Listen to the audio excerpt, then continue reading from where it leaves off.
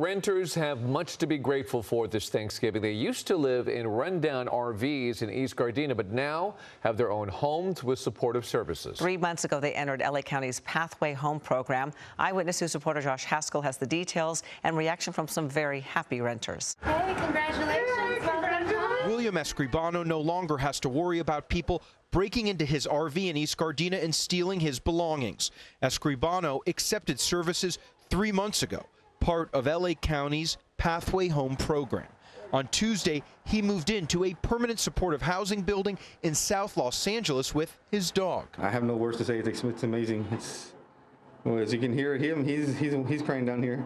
It's, it's beautiful. It's a blessing. Showing everybody that I'm not going to give up and that you know I can get knocked down, but I'm not going to stay down.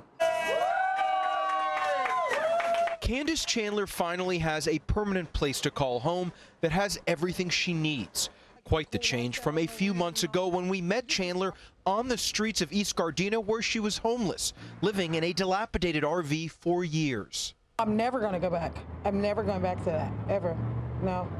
If I go back, it's to help people and get them off, to bring them to like where I'm at and elevate their lives. It just feels good to just be like, it's mine. I signed a lease. Like I'm not renting some from some slumlord that's like working me out of my whole GR check. In just three months, over 20 people who were living on the streets or in RVs in East Gardena now have a permanent place to call home with supportive services. The service provider, St. Joseph Center, says once a person has a home of their own, it's much easier for them to engage in services. This is where the real housing stabilization begins, right? This is where people begin to rebuild their lives, looking at the lease and how to maintain their home, right? How to do a budget, how to really increase some of those aspects of their lives that they've really been wanting to, particularly around increase.